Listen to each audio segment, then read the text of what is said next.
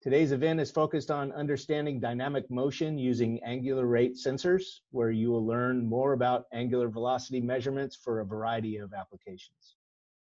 Before we get started, I'd like to cover the format and a few logistics. The webinar will be a slide presentation and audio and video from the presenter only. Uh, all attendees are muted, but please make sure to check that the slides are visible and that you can hear the presenter. We encourage you to submit questions throughout the presentation by typing them in the Q&A window. You should see the button at the bottom uh, of your screen. We'll have a panel of experts monitoring and answering questions throughout the webinar. We'll also scan the questions at the conclusion and answer as many as we can, time permitting. We'll then compile all of the Q&A to send out to everyone as a follow-up after the event. Uh, this session will be recorded and made available to you uh, at a later date. Uh, so you can share with your colleagues if there's a specific topic uh, afterwards that you would like to cover directly in a private meeting, please reach out to us and coordinate with your sales team. Uh, we're very interested in learning more about and helping you solve your particular application. Your presenter today is Mike Beckage. Uh, we also have a couple of our, our folks on, uh, on the panel to answer Q&A in the background. Uh, Chad Ivan is out of our Michigan office. He's our applications manager focused on automotive applications. And uh, Kate Martin leads our technical support team in, in Europe. Uh, Mike is our CTO and uh, co-founder. He leads our support team globally, and we're happy to have him share his presentation today with the group. So with that, I will turn it over to Mike. Well, thanks a lot, Jim, and uh, welcome everyone. Good morning, afternoon, and or evening, depending on where you are in the world.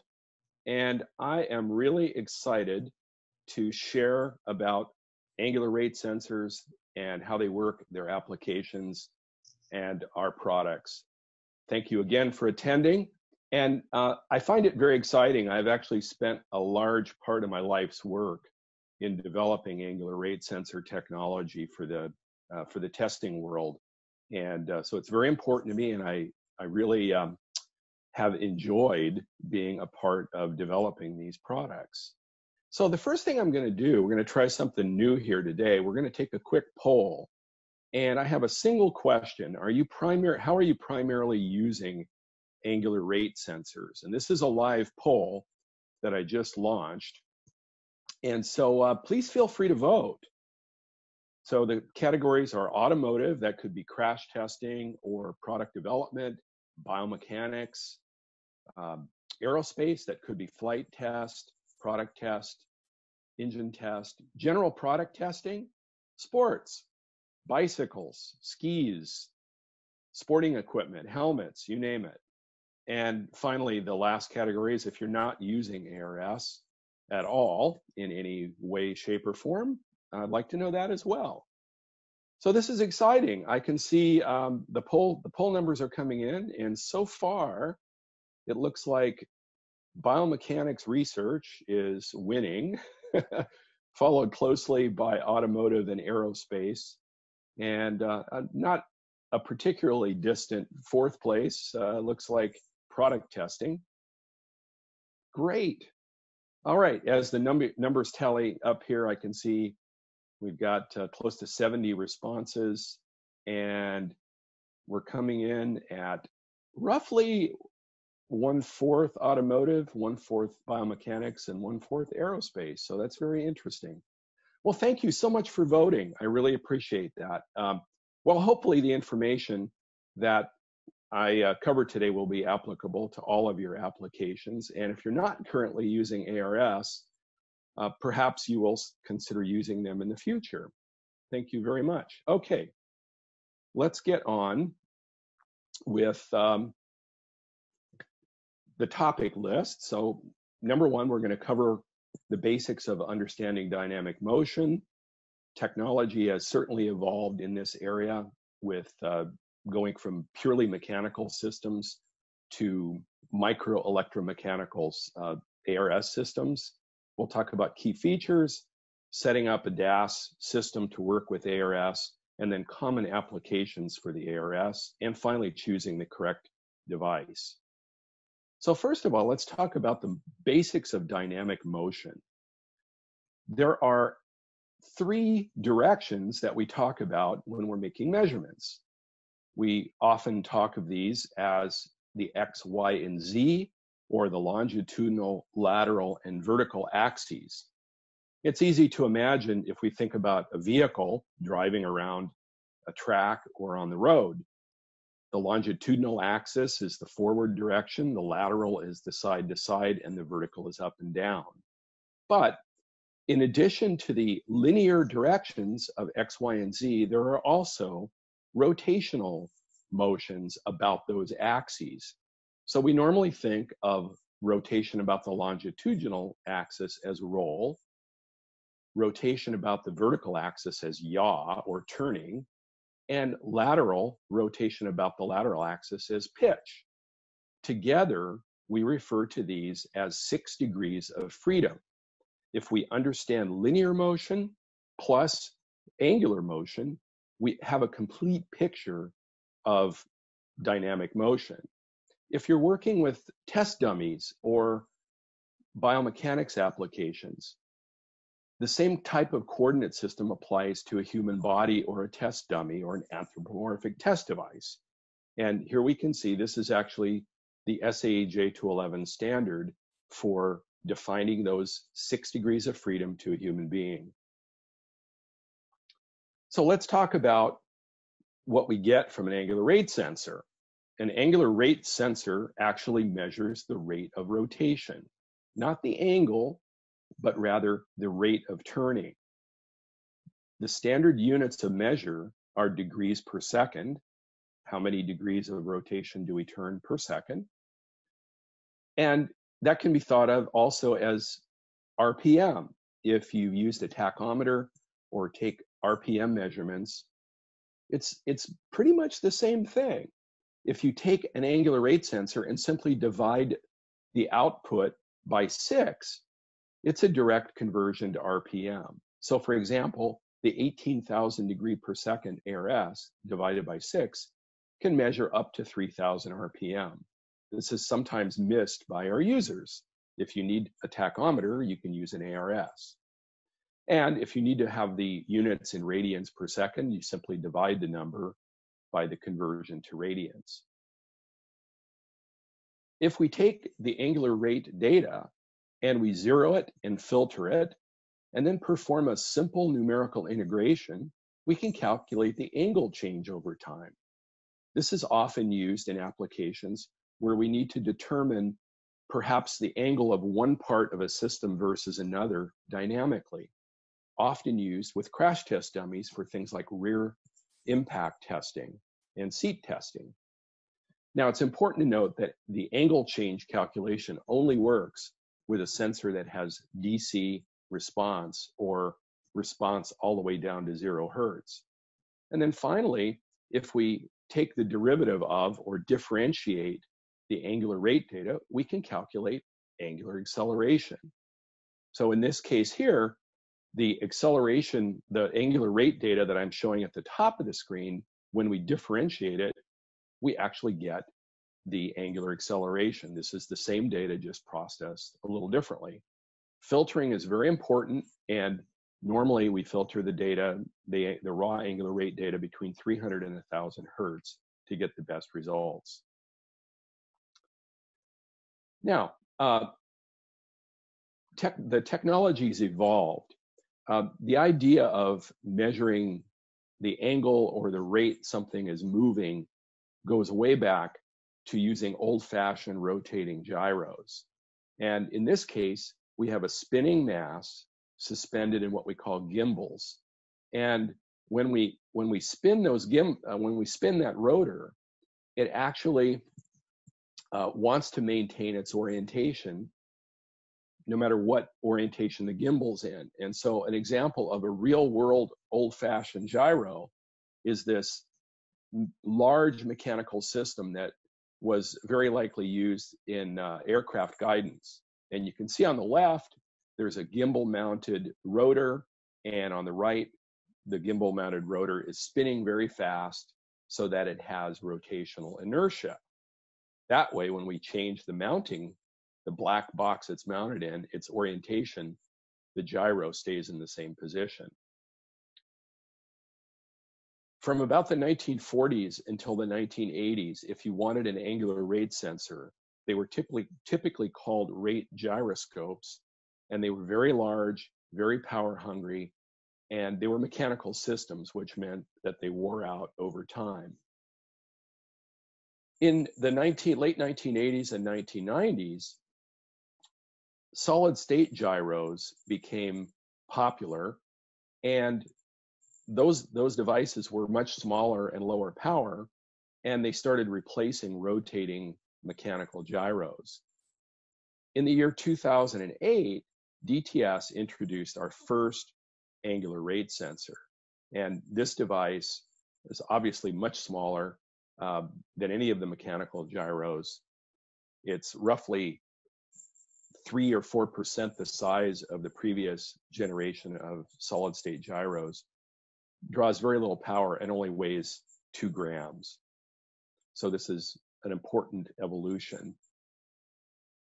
If we wanted to make a six degree of freedom measurement, when I first started doing dynamic testing in the late 1970s and 1980s, we would typically use three large linear accelerometers and three solid state gyros for a total volume of maybe 130 cubic centimeters. However, in uh, just a few years ago, DTS came out with a very small six degree of freedom measurement cube that's 25 times smaller and much lower power. And we called that the 6DX Pro. So the evolution from big mechanical gyros to solid state uh, technology has really made a big difference in our ability to measure things. So how does an ARS work?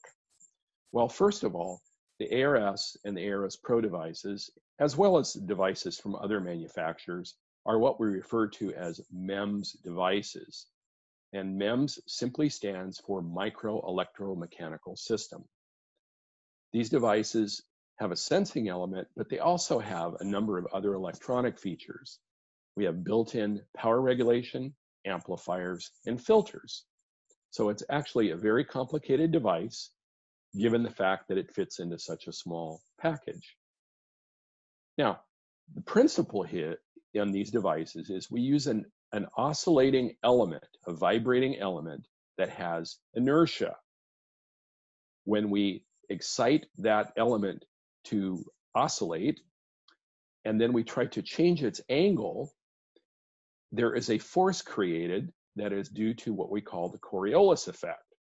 And the Coriolis force is sensed and converted to millivolts of output per degree per second. So here we see an ARS Pro. We supply any voltage from 4.9 to roughly 15 volts. So typical 5 and 10 volt excitation. And when um, we excite that with the proper excitation, we get a nominal output of plus and minus 2 volts.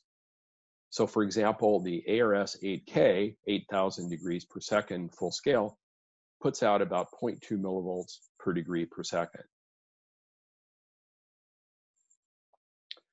So what is the Coriolis effect?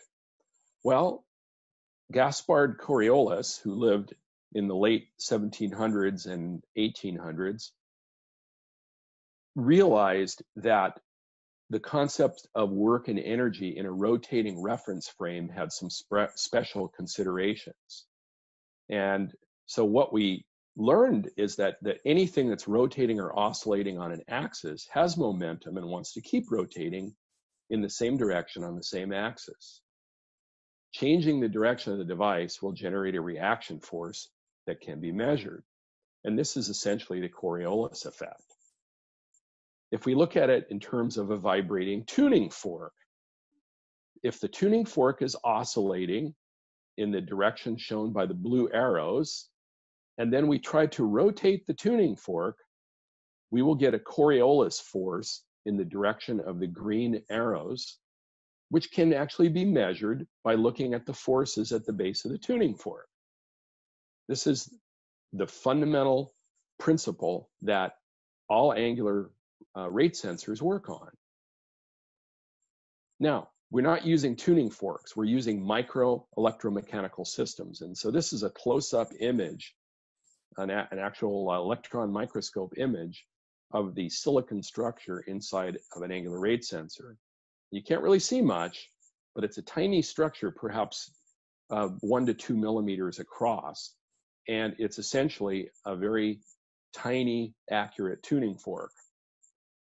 Interesting side note that the Coriolis effect is what causes hurricanes to spin in one direction in the northern hemisphere on the Earth and the southern hemisphere in the south. Uh, so, if you want to know more about the Coriolis effect, it's a very fascinating effect, and you can look it up. Our original ARS models were introduced between uh, 2007 and 2008. And one of the main reasons that we introduced that product is because the National Highway Traffic Safety Administration in the US was in the process of publishing an update to the rear impact testing standard for automobiles. Up until this time, sensing the motion of the head with respect to the upper body was done with video analysis. But as NHTSA became aware that these sensing technologies were becoming more available, they, they said, okay, an alternate method is to put an angular rate sensor in the head and an angular rate sensor in the chest. And then if you integrate the data from those two, you can actually tell how far the neck moves in a rear impact. Uh, NHTSA actually evaluated angular rate sensor technologies and gave us a very favorable report when they uh, assessed our technology way back then. Shock and vibration are just a normal part of dynamic testing. As a matter of fact, creating a shock pulse might in fact be the whole goal of the test. And so an angular rate sensor needs to properly quantify angular rate and perhaps position, position or acceleration. And it has to do that in a shock and vibration environment.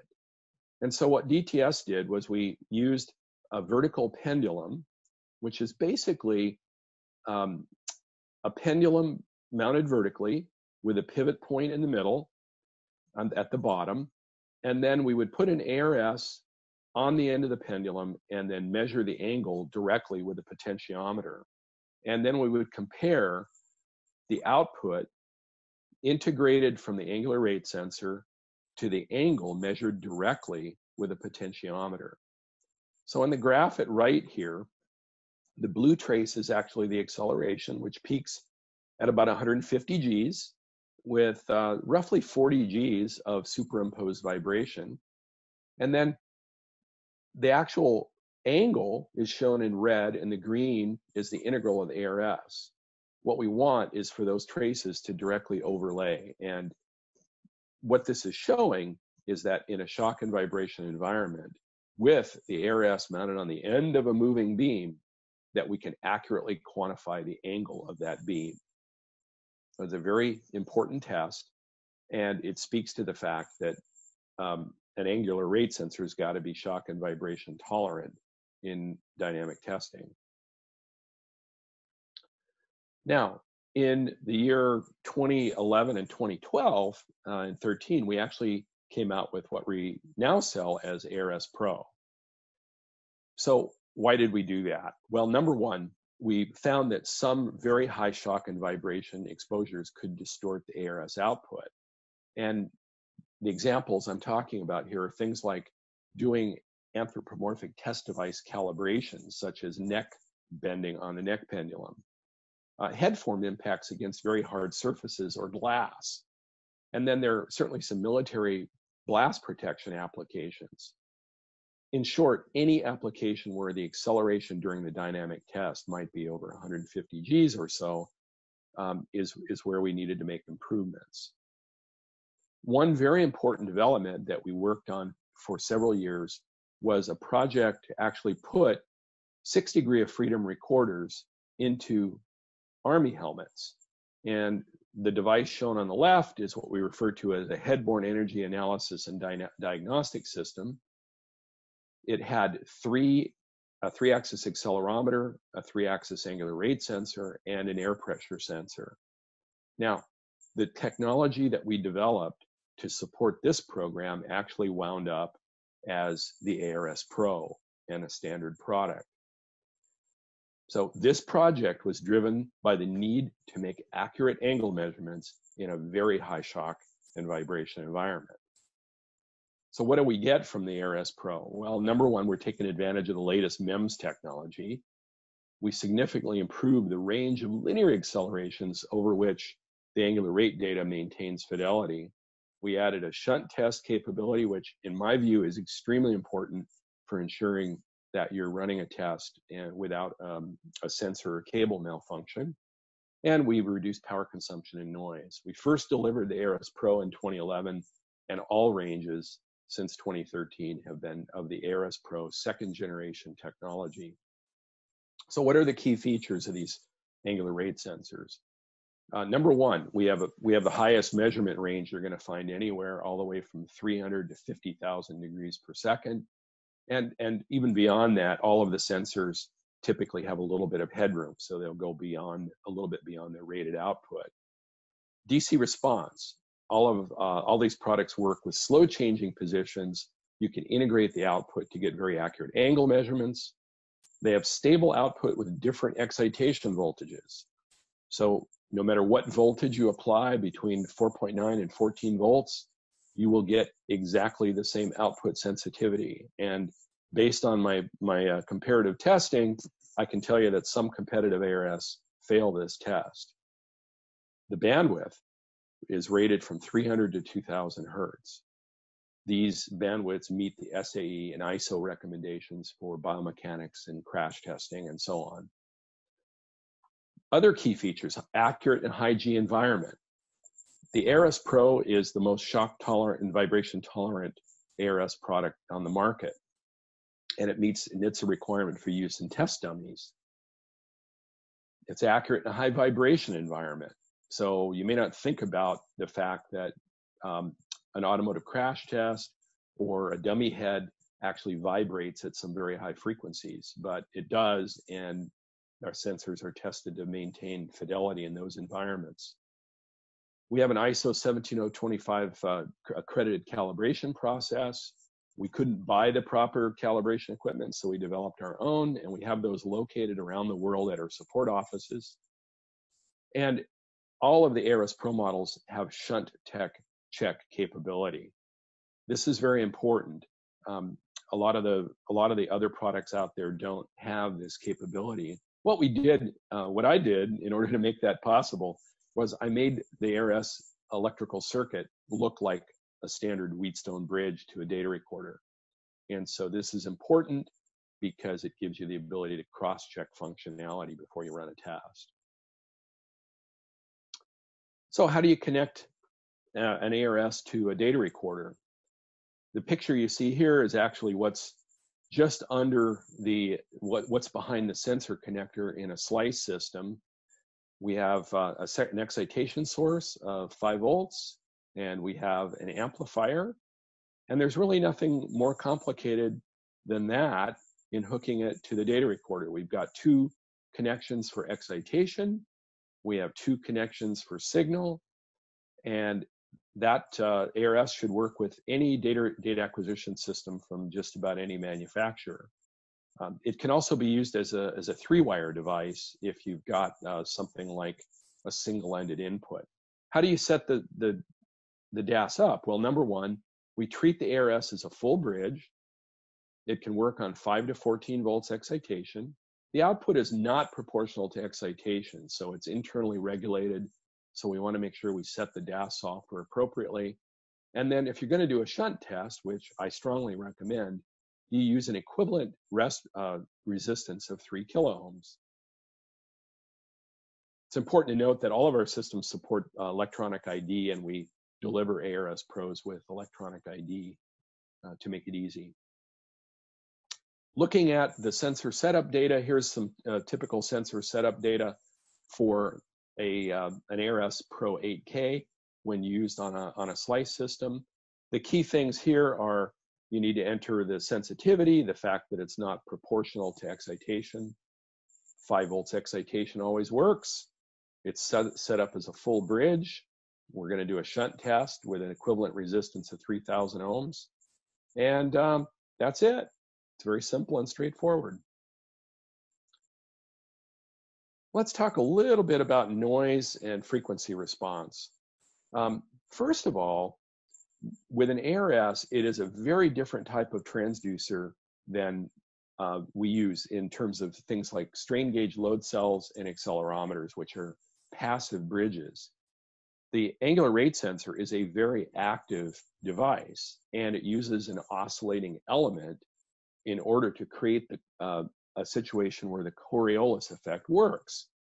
So the uh, element itself oscillates on purpose at a high frequency, and some residual noise from that oscillation is normal. So we look at the graph here. This is actually an angular rate sensor, uh, eight, uh, ARS 8K, with a 2000 hertz bandwidth, and you can see there's some noise on the signal.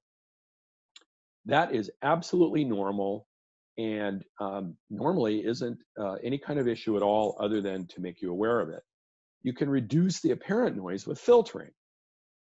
Remember that the highest physical response in these types of sensors is typically 2000 hertz.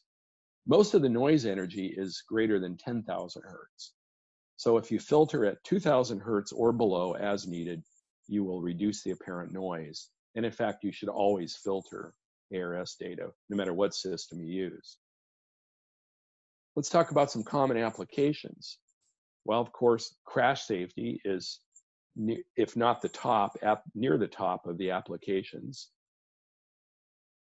Product development, anything that involves rotating machinery, of course, is a good candidate for using angular rate sensor technology. I'm very proud to say that we're working with most of the companies who are developing uh, human rated space capsules and um, angular rates of angular motion change are very important when you're talking about putting people inside of a spacecraft. Flight testing.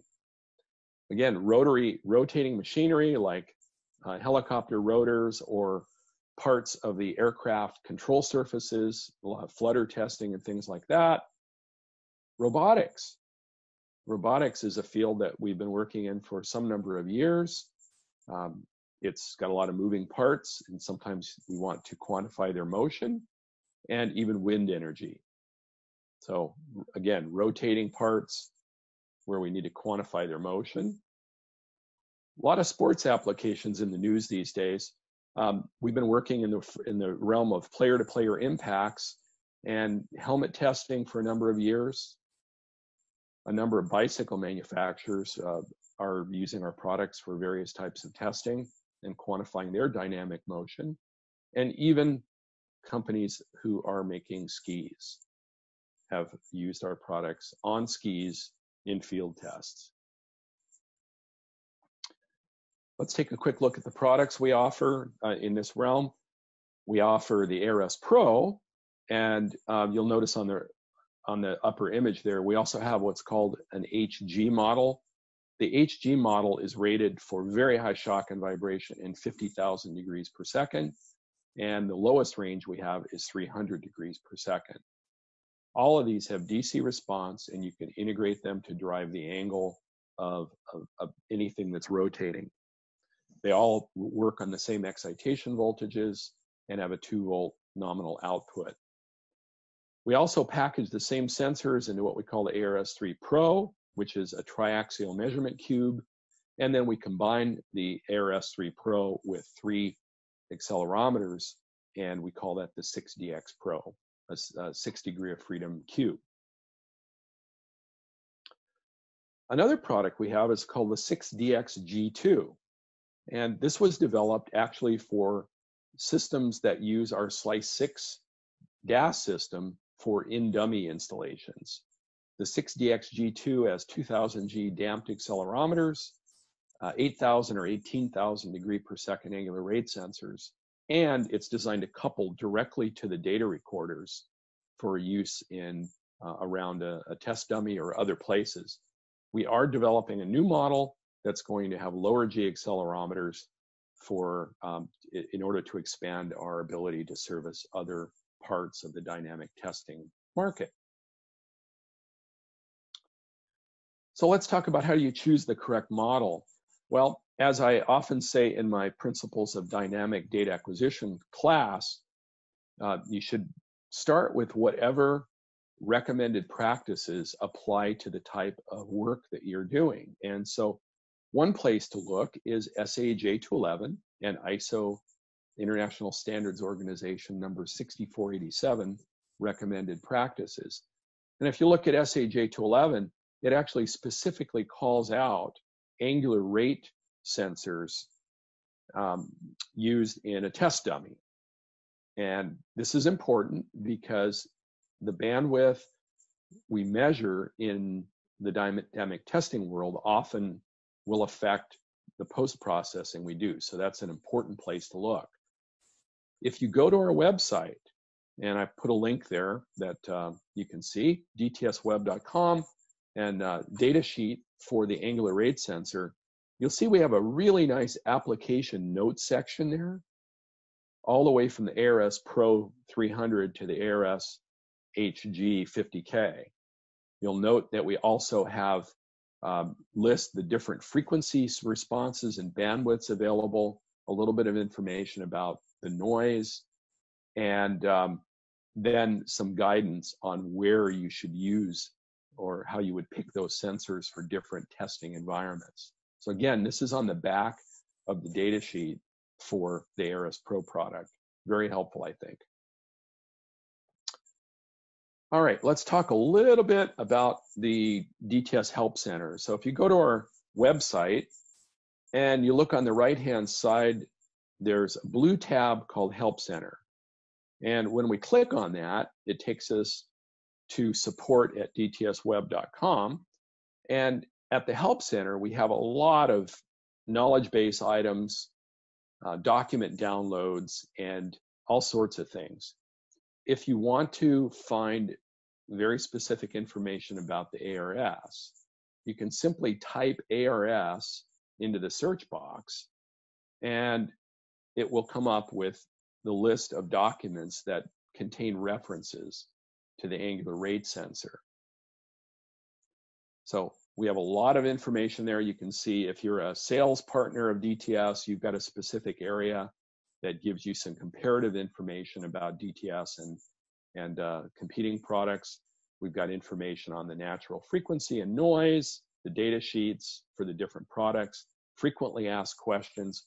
And if you're a registered user of the DTS Help Center, um, we can also grant you access to download the uh, specific step files and CAD models if you're looking to integrate the ARS into a product test design.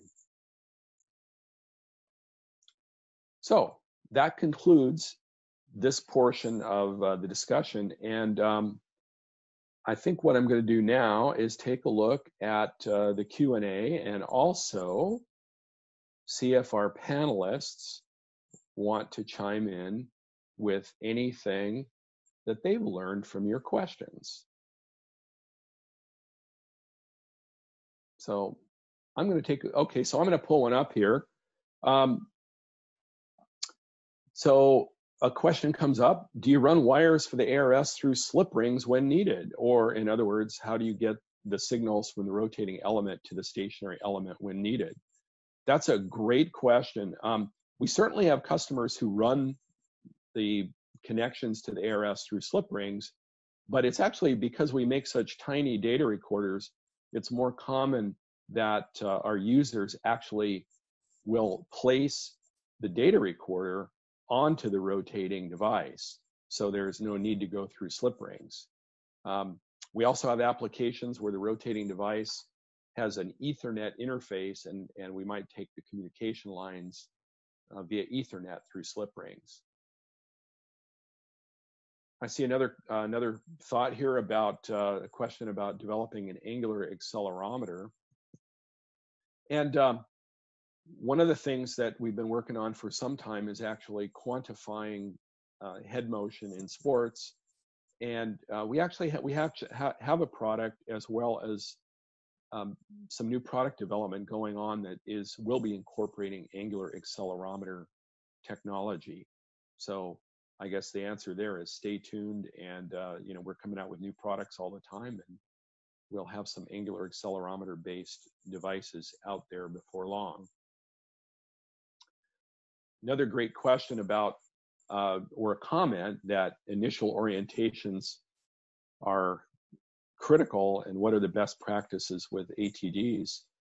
Um, that's a really good point. And when post processing angular rate sensor data, it's really important to zero, filter, trim data sets to minimize effects of initial orientation. Uh, I'll call it issues. So um, I don't know that I can say a lot more than that, but if you'd like to communicate with me directly about what you're thinking, uh, I'm always happy to hear from our users or potential users. Okay. Now, here's a great question. Has anyone attached an ARS to a person under test versus a dummy?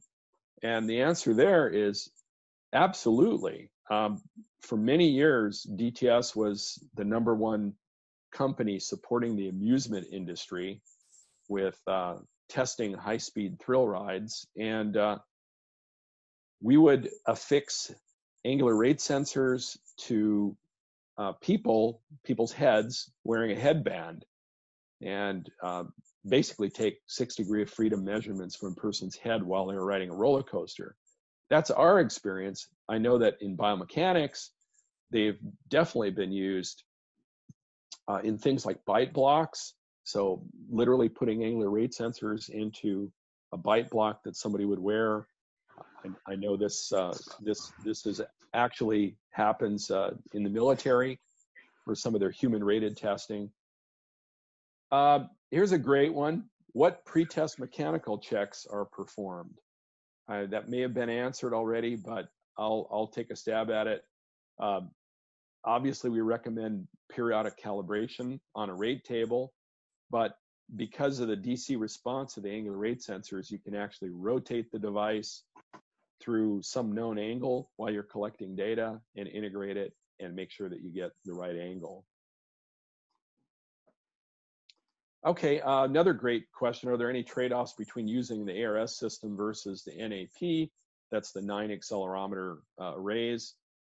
And uh, there's been a fair amount of work done on this subject over the years. And um, some of the most recent work that I'm aware of uh, had to do with comparing the outputs of nine accelerometer arrays and then hybrid arrays of angular rate sensors and accelerometers.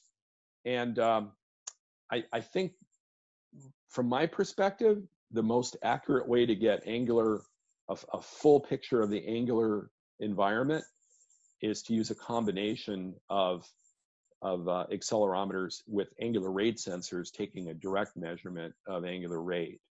So I have a lot more information on that. Uh, so if anybody wants, uh, you know, some papers or uh, past information that kind of supports the different viewpoints on that subject, I'd be happy to happy to provide it. Okay, I'm going to ask our panelists who've been monitoring things here if uh, they've learned anything or would like to come on and uh, pick up the answer to any of the other questions.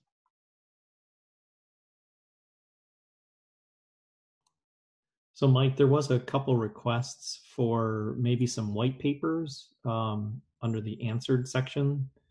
One of them was a white paper on the head path data um, 14 CFR 25.562 aircraft seat testing. I'm not sure if you're familiar with that. I'm not. Um, but I don't think we have a white paper written yet specifically to that head path data. But I, there were two people actually that asked the same question. So I said we would look into it and it's a great idea. Absolutely. No, I, I, this is the kind of input we love is uh, tell us about your applications and we'll, and we'll address them. Appreciate that very much. Uh, FY, uh, just kind of as a general information thing, uh, DTS has actually been working with the Federal Aviation Administration for many years. And uh, I know that we've done a fair amount of work in some of the, um, at the Impact Lab in Oklahoma there. So we work collaboratively in that environment, but I'd love to know more about this application. There's one other question that just came in about uh, shock survivability. Yeah. take that one. Sure. Yeah. So shock survive survivability. Um, the answer is uh, our our shock survivability rating is actually very conservative, and uh, the question here was it's rated for 0.5 millisecond, 10,000 Gs. Will shorter pulses damage the ARS? And uh, the specific question is had to do with metal to metal contact.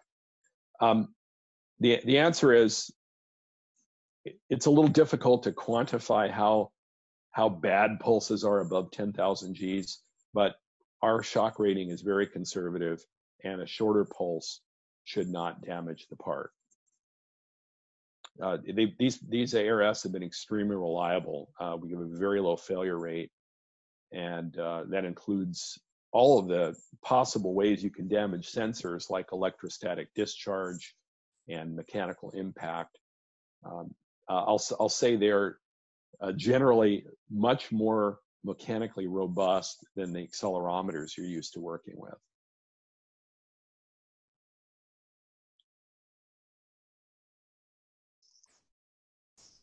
Okay, Mike, we're pretty close to our time limit here. Okay. Uh, great questions that, that, that came in. Again, we'll compile all of the mm-hmm. answers to the questions and share with with everyone. So if we didn't get to yours live, or if our panel didn't answer them, we will uh, turn those around pretty quickly here. Uh, there was also a question about whether or not the um, presentation will be available, and we will uh, post a video and uh, send that out in our in our follow-up. So you'll be able to point people to the the video or or uh, review it as well afterwards. That Fantastic. Um, let me answer one last quick question here about are we actively working on smaller technology and uh, the answer is we're always we're always looking for a path to develop the next smallest latest greatest technology and uh, we we have some we have some projects in the work uh, in work and uh, with any with any luck uh, some of those some of those things will be coming to fruition and probably in 2021 so I guess the answer there is stay tuned. Um, and I just want to thank everybody for attending the webinar. I, I can see we've had over 100 people signed on, and that's amazing. Uh, I wish you all well in this world that we're navigating and trying to stay safe in. And I'll give it back to Jim for any final comments. Okay. Thank you, Mike. I appreciate it. And uh, thank you all for attending. Again, we'll be in touch. Uh, please feel free to reach out to us directly if you have any additional questions. Uh, you you have our um, email here, and uh, uh, just reach out directly, and we'll get you to the right person. And um, uh, again, appreciate it, and have a great day. Thank you.